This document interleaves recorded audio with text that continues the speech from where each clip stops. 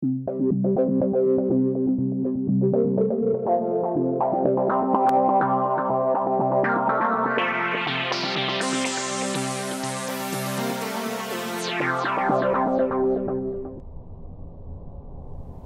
airplane is a symbol of innovative spirit.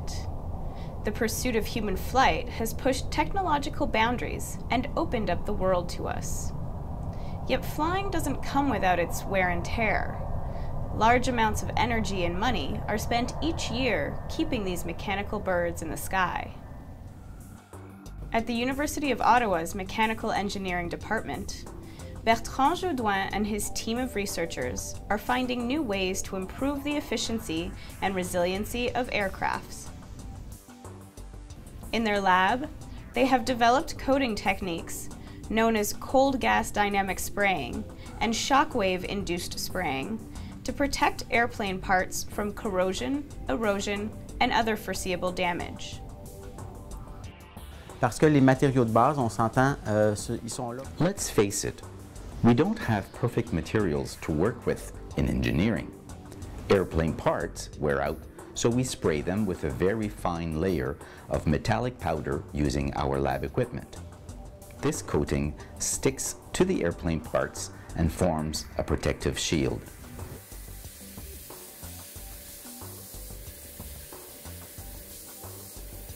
Taking additional steps to protect and repair existing airplane parts is more efficient and environmentally friendly than creating and testing new ones. Not only does this cut manufacturing costs, it also increases their durability and reduces time and money spent on maintenance. Les avions sont conçus pour être efficaces en vol. Airplanes are built to fly. The longer they can stay in flight, the better. By extending the lifespan of airplane parts, we avoid having to frequently ground planes to inspect and repair them. Improving the aircraft's performance also means using up less fuel and creating less pollution. Jodoin is working closely with Pratt & Whitney Canada to design a special coating to strengthen airplane motors and make them more fuel efficient. He is also working with Canada's National Defence to create armor capable of destroying missiles and any other anti-aircraft weaponry.